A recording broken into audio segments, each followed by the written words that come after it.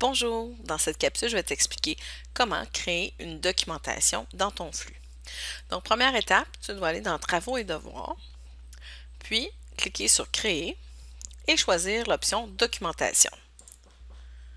La documentation, on voit, une icône spécifique, c'est seulement quelque chose que tu désires partager à tes élèves, ce n'est pas quelque chose qu'ils ont à faire. Donc, par exemple, ça peut être le plan de travail ou encore des notes de cours.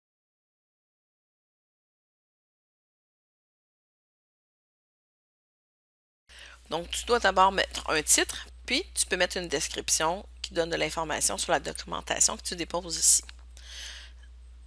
Je vais maintenant ajouter mon plan de travail. Donc, je clique sur Ajouter. Il se trouve dans mon Google Drive.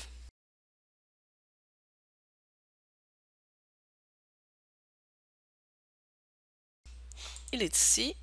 Je choisis Insérer. Donc, il apparaît ici. Et automatiquement, vous voyez, il n'y a pas d'option pour ce document-là. C'est nécessairement quelque chose en lecture seule quand on choisit l'option documentation. Je pourrais ajouter d'autres documents si je le désire. Je peux même décider de créer mon document en même temps que de créer ma publication en passant par Créer ici. À droite, je vais modifier les paramètres. Donc, premièrement, je peux sélectionner deux cours si je le désire, comme, pour les autres options dans Travaux et devoirs.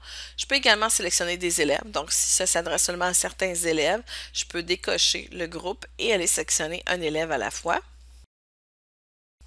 Je peux également associer cette documentation à un thème. Et une fois que j'ai fini, il me suffit d'aller sur Publier. Mais je peux également choisir de programmer la documentation pour une date ultérieure ou d'enregistrer le brouillon. Donc, je vais publier. Donc, le plan de travail est en bleu parce qu'il est présentement visible dans le flux. Donc, il apparaît ici. Remarquez l'icône qui est ici. Voilà maintenant dans la vue élève. Donc, on voit ici ma publication apparaître. L'élève clique et va accéder à mon Google Slide que je vais lui partager.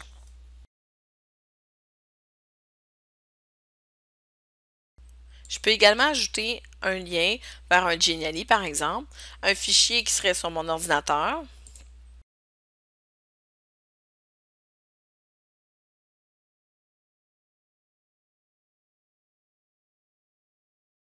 Donc, que ce soit un Word ou un PDF.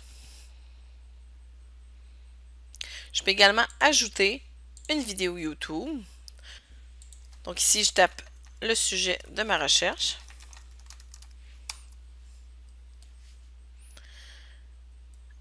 Sélectionne une vidéo et je fais ajouter.